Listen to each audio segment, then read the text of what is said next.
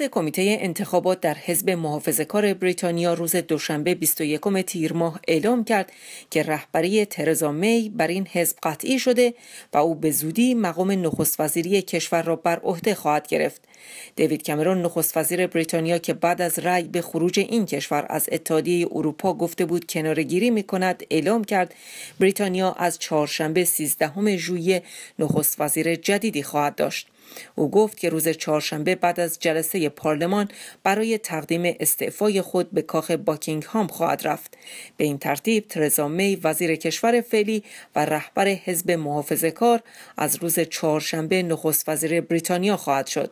این نخستین بار خواهد بود که از زمان کنارگیری مارگارت تاچر در سال 1990 یک زن نخست وزیر بریتانیا می شود. قرار بود دو رقیب اصلی برای رهبری حزب محافظه کار ترزا می و آندریا لتسوم از معاونان وزارت انرژی در رأیگیری 150 هزار عضو حزب محافظه کار شرکت کنند و نتیجه آن اوایل ماه سپتامبر اعلام شود. اما با کنارگیری ناگهانی خانم لتسوم از این رقابت که روز دوشنبه به خبر آن اعلام شد قاعدتا ترزا می خیلی زودتر از آن تاریخ به مقام رهبری حزب محافظه کار رسید. پیروزی خانم می به این معناست که روند خروج بریتانیا از اتحادیه اروپا را سیاستمداری رهبری خواهد کرد که در همه پرسی ماه گذشته طرفدار باقی ماندن این کشور در اتحادیه اروپا بود. آندریا لتسوم سیاستمدار ناشناخته ای بود و قبل از بدل شدن به یکی از چهره های شاخص طرفدار خروج بریتانیا از اتحادیه اروپا مردم شناخت چندانی از او نداشتند. خانم لتسوم چند روز پیش در مصاحبه با روزنامه تایمز گفته بود مادر بودنش به نسبت ترزامه که فرزند ندارد ثابت می کند او به آینده کشور وفادارتر است. سخنان وی به شدت مورد انتقاد قرار گرفت و او در نهایت مجبور به عذرخواهی شد. تعدادی از سیاستمداران حزب محافظه کار انزجار خود را از این سخنان ابراز کرده و گروه دیگری آن را نشانه خامی و عدم صلاحیت خانم لتسام توصیف کردند. خانم لتسام در خصوص دلایلش از کنارگیری گفت با توجه به اینکه حمایت تنها 25 درصد از نمایندگان حزب در پارلمان را دارد به این نتیجه رسیده که نخواهد توانست دولتی متحد و قوی برای رهبری روند خروج بریتانیا از اتحادیه اروپا تشکیل دهد او گفت که بریتانیا در شرایط فعلی به انتخاب فوری یک نخست وزیر قدرتمند احتیاج دارد و او از خانم می حمایت خواهد کرد. خانم می پیش از همه پرسی اخیر از حامیان باقی ماندن بریتانیا در اتحادیه اروپا بود اما پس از رأیگیری گفت که همه باید به نتیجه آن احترام بگذارند و قول داد که به عنوان نخست وزیر خروج بریتانیا از اتحادیه اروپا را عملی کند او قول داده که در مذاکره با رهبران اتحادیه اروپا برای به دست آوردن بهترین توافق برای حفظ منافع بریتانیا پس از خروج از اتحادیه تلاش کند. خروج بریتانیا از اتحادیه اروپا این اتحادیه را تضعیف کرده و در زمینه تجارت و سرمایه گذاری ابهامات فراوانی به وجود آورده است. ارزش برابری پوند استرلینگ که پس از اعلام نتایج همه پرسی ماه گذشته به پایین ترین نرخ خود طی سی سال گذشته سقوط کرده بود روز گذشته تحت تاثیر تسریع روند انتخاب رهبر حزب محافظه کار اندکی افزایش یافت. نتایج همه پرسی بریتانیا علاوه بر بازار مالی و مناسبات تجاری فضای سیاست بریتانیا را نیز به شدت متلاطم کرده است. همزمان جدال بر سر رهبری حزب اصلی مخالف دولت حزب کارگر بریتانیا نیز ادامه دارد. دقایقی قبل از اعلام خبر کنارگیری آندر آلتسوم از رقابت برای رهبری حزب محافظه کار آنجلا ایگل یکی از اعضای پارلمانی ارشد حزب کارگر اعلام کرد رهبری جرمی کوربین را به چالش خواهد کشید. آقای کوربین سال گذشته با حمایت وسیع هواداران حزب کارگر به رهبری این حزب رسید اما در میان اعضای ارشد و نماینده های پارلمانی این حزب بسیار نامحبوب است. او اخیرا رأی عدم اعتماد فراکسیون پارلمانی این حزب را رد کرد و گفت بر اساس آرایی که سال گذشته به دست آورده به رهبری حزب ادامه خواهد داد. خانم ایگل روز دوشنبه گفت جرمی کوربین نمی‌تواند رهبری را که حزب ما نیاز دارد ارائه دهد. به نظرم من می‌توانم این وظیفه را انجام دهم.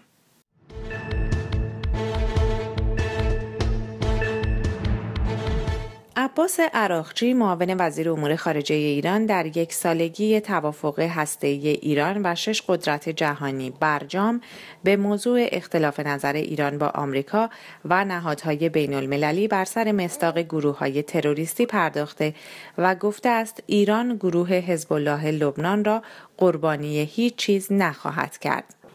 آقای عراقچی در مصاحبه با صدا سیما به اختلاف نظر ایران و آمریکا بر سر مسئله حمایت از تروریسم هم اشاره کرد و گفت ما با آمریکا در زمینه تروریسم دانستن داعش، القاعده و جبهه النصره اشتراک نظر داریم و برداشتمان از گروه های دیگر همچون حزب الله لبنان با هم همخوانی ندارد.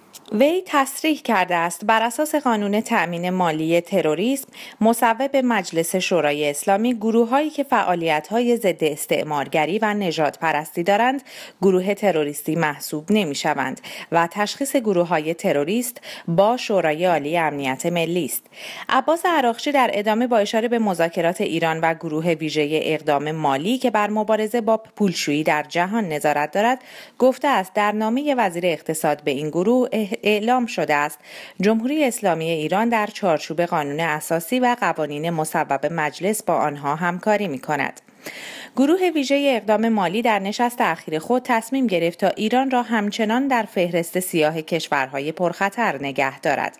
علیرغم این تصمیم این مؤسسه اعلام کرده است که از وعده های ایران مبنی بر بهبود استقبال می کند و به مدت یک سال برخی از محدودیت ها را به حالت تعلیق در می آورد.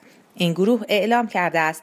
اگر ایران نتواند سابقه خود در زمینه پولشویی و حمایت مالی از تروریسم را طبق وعده هایش بهبود بخشد تدابیر شدیدی اتخاذ خواهند کرد. اما اگر ایران موفق شود قدم های مثبت بیشتری در آینده برداشته خواهد شد. این در حالی است که عباس عراقچی روز دوشنبه با اشاره به اینکه قرار است ایران در ارتباط با مفهوم گروه های تروریستی با این گروه ویژه اقدام مالی به تفاهم دست یابد گفته است مذاکرات با این گروه تا 18 ماه دیگر ادامه خواهد داشت که چه گروه های تروریست هستند و کدام ها نیستند. پیشتر یک سخنگوی کاخ سفید از ایران خواسته بود تا های خود را از گروه حزب الله لبنان متوقف کند. این سخنگو تاکید کرده بود که تداوم چنین کمکهایی باعث می شود که مشکلات ایران برای دسترسی به بازارهای بین المللی ادامه داشته باشد. حسن نصرالله روز جمعه گفته بود دور تازه تحریم های آمریکا تأثیری بر این گروه نخواهد داشت چون حزب الله نیازهای مالی خود را نه از بانک های لبنانی که مستقیما از ایران دریافت می کند. وی تصریح کرده بود تا زمانی که ایران پول داشته باشد این گروه پول و امکانات دریافت خواهد کرد. همزمان علی اکبر ولایتی مشاور امور بین الملل رهبر جمهوری اسلامی ضمن انتقاد از سکوت دیگر اعضای گروه پنج به علاوه یک در قبال اهچکنی آمریکایی ها گفت برخی شروط نهگانه رهبر جمهوری اسلامی در اجرای برجام عملی نشد در حالی که تیم مذاکره اتمی ایران تا جایی که می توانستند شروط را رعایت کردند. وی گفته پس از توافق برجام هر روز به بهانه ای در سنا یا کنگره آمریکا مصوبه ای علیه جمهوری اسلامی تصویب می شود که بعضی از آنها هم به امضای رئیس جمهوری آمریکا می رسد مثلا به فرض اینکه بوینگ را هم به ما بفروشند اگر همین سنا و کنگره با آمدن رئیس جمهور بعدی مصوبه ای بگذارند و مانع از ارائه خدمات و قطعات overhaul و مانند آن به ما شوند آن وقت چه باید بکنیم؟ به همین علت ما از آینده نگرانیم. مجلس نمایندگان آمریکا که جمهوری خواهان در آن اکثریت دارند دو متمم تازه را با هدف جلوگیری از فروش هواپیماهای مسافربری بوینگ به ایران تصویب کرده است. آقای ولایتی همچنین گفت که مقامات آمریکایی پیش از توافق اتمی وین به اشکال مختلف در پیغامها و گفتگوهایشان مطرح کرده بودند که اگر مشکل هسته‌ای حل شود دیگر مزاحمتها و تحریکات خود بر ضد جمهوری اسلامی را انجام نخواهند داد. روز دوشنبه همچنین اکبر هاشمی رفسنجانی رئیس مجمع تشخیص مسلحت نظام نسبت به تلاش ها برای به شکست کشاندن برجام هشدار داد و گفت گروهی برای الغای شکست برجام با هم مسابقه می دهند و گویا نمی دانند که تضعیف دولت به تضعیف نظام می انجامد و اعتماد و امنیت سرمایه گذاران خارجی را برای ورود به ایران از بین می برد. وی اظهارات مطرح شده مبنی بر اینکه برجام هیچ فایده ای برای ایران نداشت را ناشی از بیانصافی و بیاخلاقی سیاسی دانست و تصریح کرد. نگاه این گروه به اقدامات دولت از اختلافات سیاسی بالاتر رفته. به گونه ای که سعی می کنند هر روز با انفجار یک بمب خبری دولت را به جای رسیدگی به کارهای مهم کشور به بازی های سیاسی مشغول کنند.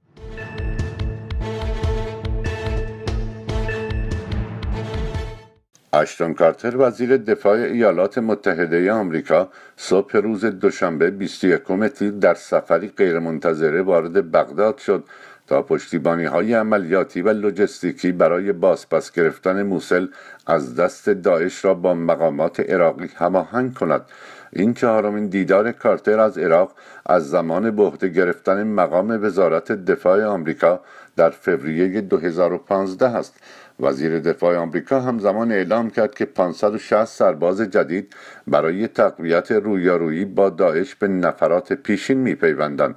آنها قرار است در پایگاه هوایی قیاره که ارتش عراق آن را روز شنبه از دست داعش خارج کرد مستقر شوند.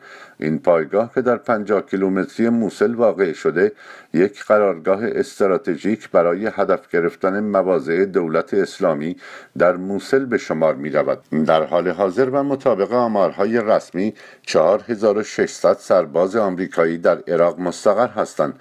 واشنگتن پست در گزارشی برآورد کرده که این میزان به همراه مشاوران نظامی به حدود 6000 نفر بالغ می شود. انفجارهای پی در پی در بغداد و حومه آن کشته شدن بیش از دویست نفر در انفجار الکراده و اعتراضات سیاسی به عبادی در روزهای گذشته فضای سیاسی و امنیتی عراق را متشنج کرده است. در پایان ماه جوان نیروهای مسلح عراقی توانستند شهر فلوجه در غرب بغداد را از دست داعش خارج سازند.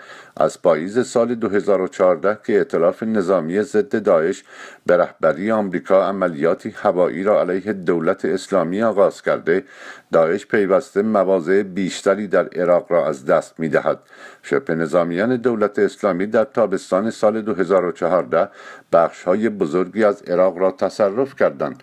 سربازانی که به زودی آزم عراق می شوند قرار است نیروهای ارتش عراق را از نظر لوجستیک و از نظر عملیاتی حمایت کنند. پیشتر و در اجلاس سران کشورهای عضو پیمان آتلانتیک شمالی در ورشو اعلام شده بود که نیروهای ناتو برای آموزش افسران عراقی و توانمند کردن آنها در مقابله با داعش به عراق باز میگردند.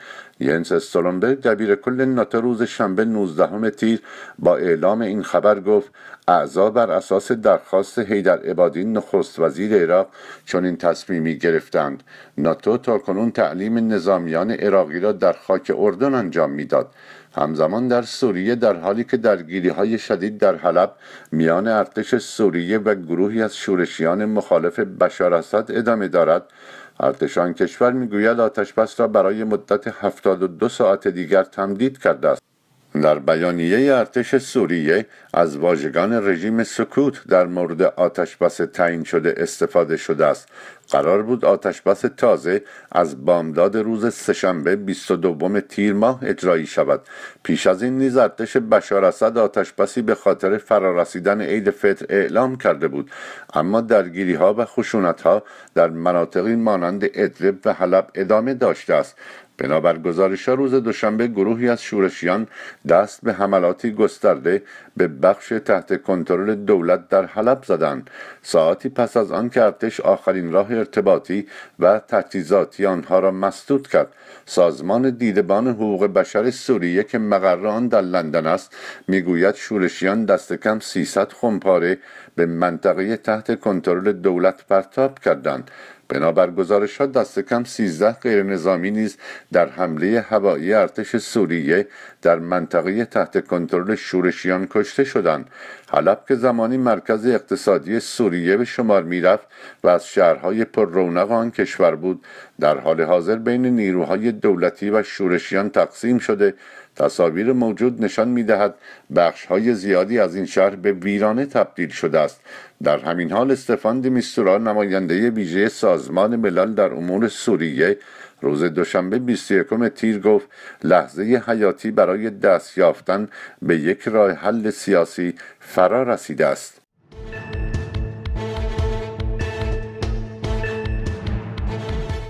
شناورهای سپاه پاسداران در تنگه هرمز به 500 متری یک ناو جنگی آمریکایی نزدیک شدند که این بار میزبان فرمانده ارتش آمریکا در خاور میانه بود. یک ژنرال آمریکایی ابراز نگرانی کرده که در این فضای محدود احتمال محاسبه اشتباه بسیار بالاست. این نخستین بار نیست که شناورهای سپاه پاسداران در خلیج فارس به ناوهای آمریکایی نزدیک شده و یا در کنار آنها مانور می‌دهند. با این تفاوت که ژنرال جوزف ووتل فرمانده ستاد فرماندهی ایالات متحده در خاورمیانه در روز دوشنبه 21 تیر ماه برای بازدید در عرشه یکی از آنها بود. ناو نیورلان در حال گذر از تنگه هرمز بود که پنج شناور ایرانی به آن نزدیک شدند. خبرگزاری رویترز می‌گوید چهار شناور قایق تندرو بودند و سه شناور مسلح به مسلسل بودند. یک کشتی حامل موشک نیز در میان شناورها بوده است. یکی از شناورها پس از نزدیک شدن به ناو آمریکایی موتور خود را خاموش کرده و شاهد گذر ناو و ناوشکنی که آن را اسکورت می کرد بوده است. ژنرال جوزف ووتل در جمع تفنگداران و خبرنگاران بر عرشه ناو گفته است همانطور که در فضای محدود این منطقه آبی می‌بینید احتمال وقوع خطای ناشی از اشتباه محاسباتی بسیار بالاست به گفته فرمانده ارتش آمریکا در خاورمیانه در 90 درصد موارد نزدیک شدنها حرفه‌ای و امن به شمار می‌روند ناوهای آمریکایی در سال نزدیک به 250 بار از تنگه هرمز عبور می کنند. در این حال به گفته ژنرال ووتل در ده درصد موارد وقایع ناامن، غیر معمول یا غیر حرفه‌ای رخ می‌دهند. او افزوده است ما همیشه برای واکنش نشان دادن به این فعل و انفعالات فرصت خیلی زیادی نداریم. به نظرم آنچه احتمالا امروز فرا گرفتیم این است که دقایق است که تعیین کننده است.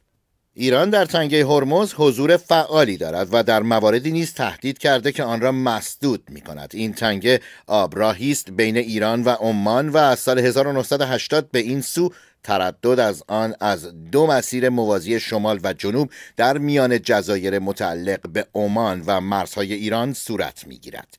ناوها و کشتی هایی که در تنگه هرمز در آمد و شد هستند از مسیرهای از پیش تعیین شده و ثابت ورودی و خروجی که روی نقشه دریایی به وضوح ترسیم شده استفاده می کنند این مسیرها که با هدف جداسازی ترافیک دریایی در اغلب آبراه های باریک تعیین می شود در راستای مقررات سازمان بین المللی دریانوردی است.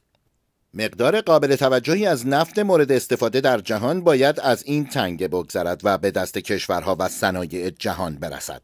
نزدیک شدن شناورهای ایرانی به ناوهای آمریکایی گاه با واکنشهایی روبرو شده است. از جمله شلیک اختار از سوی گشت ساحلی آمریکا.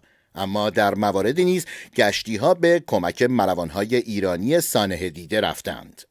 سال گذشته در آستانه اجرایی شدن توافق اتمی نیروهای دریایی سپاه پاسداران که مسئولیت نظامی در خلیج فارس بر عهده آنهاست ده ملوان نیروهای دریایی آمریکا را بازداشت و اندکی بعد آزاد کردند. بازداشت این ملوانها با واکنش هایی روبرو بوده که تا کنون ادامه دارد. ژنرال ووتل روز دوشنبه بر عرشه ناو نیورلان گفته است توافق اتمی میان تهران و شش قدرت جهانی یکی از تهدیدهای بسیار مهم را در بر گرفت. اما او افزوده است اقدامات دیگر در اینجا تغییری نکرده است. او از سوی دیگر گفته اگر ناوهای آمریکایی یک شناور سانه دیده یا دارای مشکل را در مسیر خود ببینند سعی می کنند به آن کمک کنند.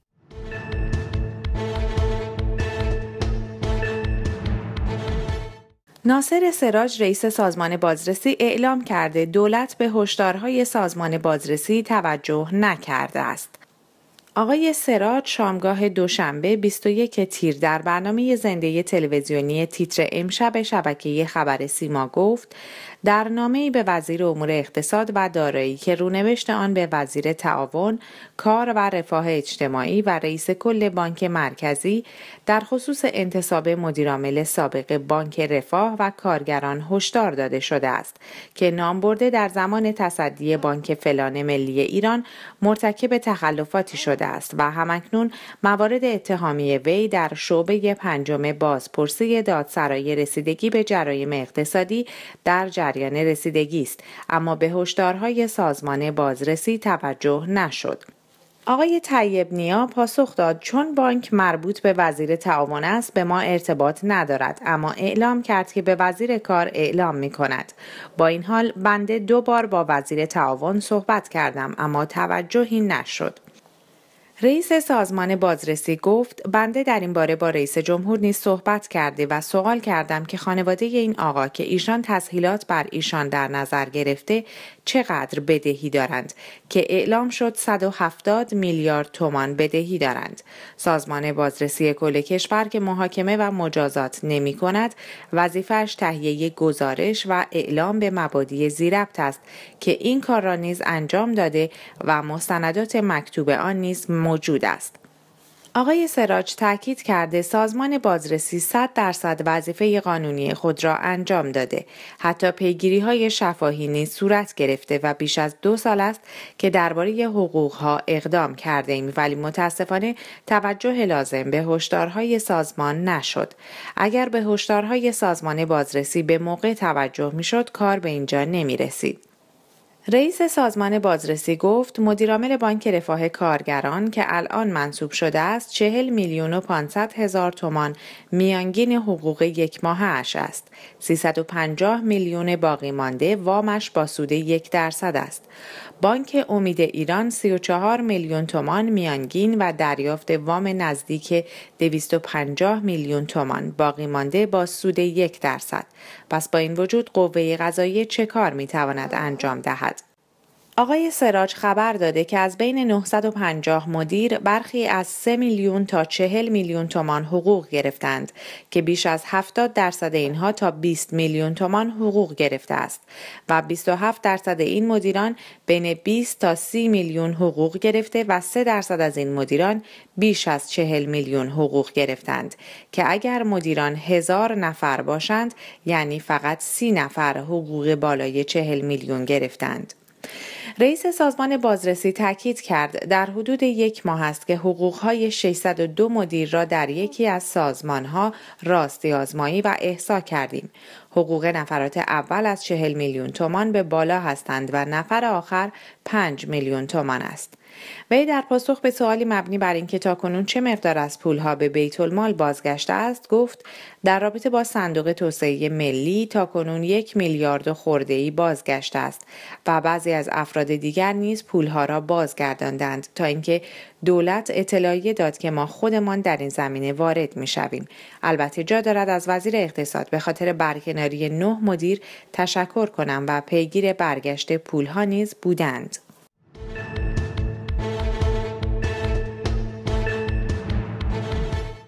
چهلمین نشست جهانی سازمان علمی آموزشی فرهنگی ملل متحد یونسکو از عصر یک شنبه در استانبول آغاز به کار کرده و به مدت ده روز ادامه خواهد داشت.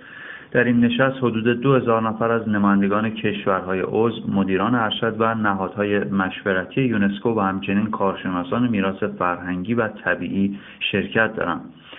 بررسی راهکارهای مقابله با تهدیدات افرادگرایی و بررسی تقاضای کشورهای عضو برای ثبت آثار تاریخی در فهرست یونسکو از اهداف عمده این نشست ده روزه خواهد بود.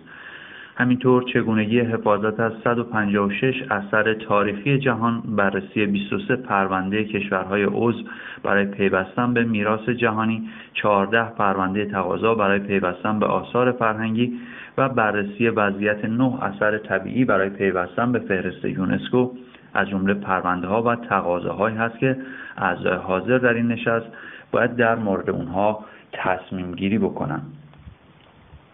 هیئت کارشناسی و مسئولان میراث فرهنگی ایران هم با تقاضای ثبت دو اثر یکی قنات ایران و همینطور بیابان لود در این اجلاس شرکت کردند.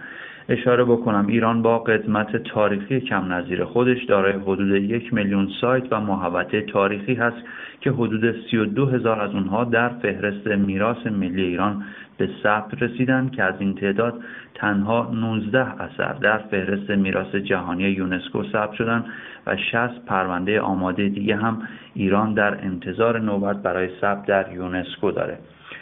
نکته دیگه این که در قفلت چند ساله مسئولان میراث فرهنگی ایران برخی کشورهای همسایه اقدام به ثبت تعدادی از آثار فرهنگی ایران در یونسکو به نام خود کردند که اقدام و اعتراض دیرهنگام ایران به این موضوع البته ثمری در پی نداشت و برای همیشه این گونه آثار فرهنگی حوزه تمدنی ایران به نام دیگر کشورها به ثبت رسیده.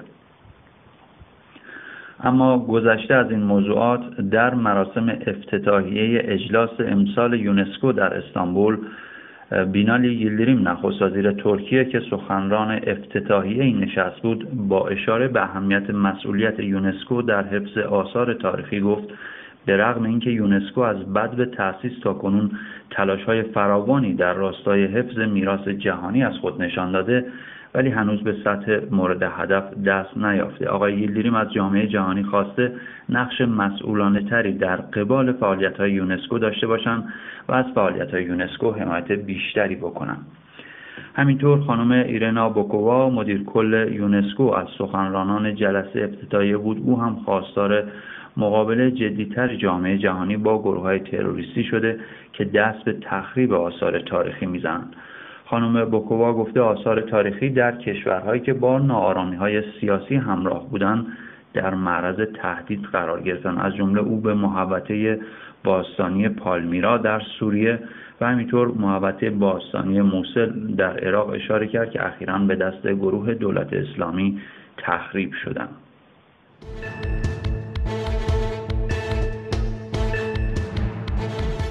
پلیس فدرال آلمان در گزارش تازه ای از جرایم جنسی در جشنهای سال نو در آن کشور می‌گوید بیش از هزار مورد جرم مربوط به آزارهای جنسی در سرتاسر سر آلمان ثبت شده و احتمال دارد بیش از دو هزار مرد در این جرایم دست داشتند. برخی رسانه های آلمانی از جمله روزنامه زود دویچه سایتونگ به نسخه ای از یک گزارش جدید پلیس دست یافته که نشان می‌داد جرایم جنسی شب سال نو به شهر کل محدود نبود و در هامبورگ، دوسلدورف، اشتوتگارت و دیگر شهرهای آن کشور نیز رخ دادند. مقام های پلیس شمار مردانی که در جرائم دست داشتند را دست کم دو هزار نفر تخمین زدند. اما می‌گویند تنها 120 نفر از آنها شناسایی شدند. به گفته پلیس عمده جرائم در گروه های بزرگ رخ داده و به همین دلیل هم شمار مزنونان و هم شمار قربانیان آن افزایش یافته است. هولگر مونش رئیس دایره جنایی پلیس فدرال آلمان گفته رابطه میان موج ورود مهاجران و وقوع این پدیده وجود دارد. در این گزارش گفته شده عمده مردان مزنون به انجام این جرایم از کشورهای شمال آفریقا بودند. به نظر می رسد شماری سوری نیز در میان مزنونان به انجام جرایم بودند. این گزارش می بیش از نیمی از کسانی که مزنون به انجام آزار جنسی هستند کمتر از یک سال در خاک آلمان بودند. هولگر مونش می‌گوید هیچ مدرکی وجود ندارد که این جرایم به صورت برنامه ریزی شده و هماهنگ صورت گرفته باشد. اندکی پس از وقوع جرایم جنسی جشنهای سال نو در آلمان وزارت دادگستری این کشور این احتمال را مطرح کرده بود که این وقایع جرایم برنامه ریزی شده بوده است پلیس فدرال آلمان قرار است طی روزهای آینده نسخه کاملی از گزارش تازه خود را منتشر کند گزارش اولیه ای از تحقیقات در شهر کل در دیماه سال پیش منتشر شده بود و نشان می‌داد که هیچ یک از مزنونین شهروند آلمان نیستند. در همان روزهای پس از وقوع جرایم دست کم 11 شهروند خارجی نیز در حملات انتقام جویانه زخمی شدند. از آن زمان تا کنون شمار جرایم ثبت شده نزدیک به دو برابر افزایش یافته است.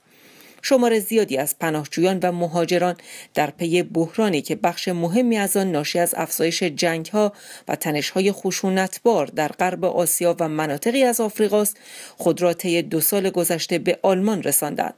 وقوع جرایمی مانند رخدادهای جشنهای سال نو سبب شد تا گروه های افراطی و راستگرا مانند جایگزینی برای آلمان یا AFD بر حملات و انتقادهای خود از سیاستهای صدر آلمان بیافزایند.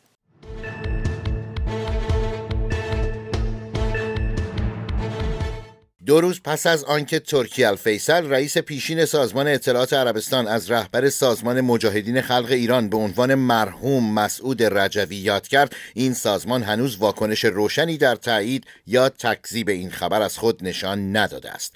سخنگوی سازمان مجاهدین خلق ایران در اظهاراتی کلی تنها گفته است که ادعای یکی از بانفوذترین شخصیت های سیاسی عربستان مورد سوء تعبیر قرار گرفته است.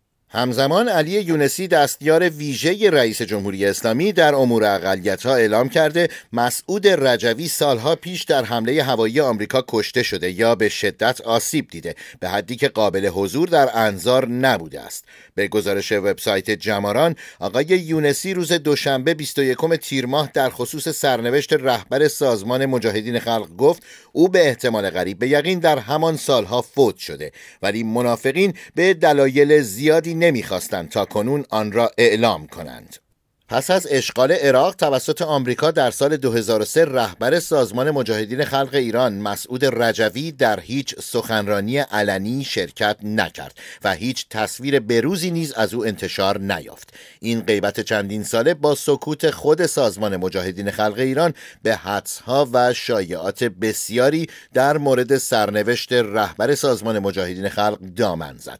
با این حال اگر ادعای یک مقام نظامی آمریکایی سرهنگ وسلی مارتین مسئول حفاظت از سازمان مجاهدین خلق ایران در عراق پس از اشغال این کشور در سال 2003 را ملاک قرار دهیم. مسعود رجوی در یک حمله نظامی زخمی شده است.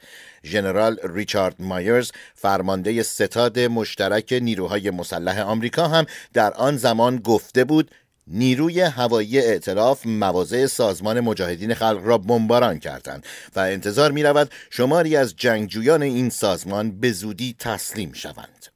در همین حال علی یونسی از آنچه نزدیکی عربستان سعودی به سازمان مجاهدین خلق خواند انتقاد کرده و گفت این همان اشتباهی است که صدام در استفاده از مجاهدین خلق به عنوان ماشین جنگی خودش علیه ما به کار برد. دستیار حسن روحانی گفت ترکی الفیصل برای اولین بار مرگ رهبر مجاهدین خلق را اعلام کرد و این چیزی بود که مجاهدین نمی‌خواستند آن را افشا کنند. اما این اتفاق افتاد و برایشان هم خیلی بد شد. آقای یونسی گفت اگرچه این آقای ترکی الفیصل در حال حاضر مسئولیت رسمی در حکومت سعودی ندارد اما همیشه یک مقام امنیتی و عضوی از خانواده آل سعود است. جمهوری اسلامی ایران سازمان مجاهدین خلق را یک گروه تروریستی می‌داند. آمریکا و اتحادیه اروپا نیز پیشتر این گروه را تروریستی می‌دانستند اما اتحادیه اروپا و سپس وزارت خارجه آمریکا این گروه را از فهرست سازمانهای تروریستی خارج کردند. در حالی رئیس پیشین سازمان اطلاعات عربستان در نشست سازمان مجاهدین خلق ایران حضور داشته که در سالهای گذشته روابط ایران با عربستان سعودی به شدت تیره شده و در نهایت پس از حمله به اماکن دیپلماتیک عربستان سعودی در تهران و مشهد در دیماه سال گذشته این کشور و برخی از متحدانش از جمله بحرین و سودان روابط خود را با ایران قطع کردند.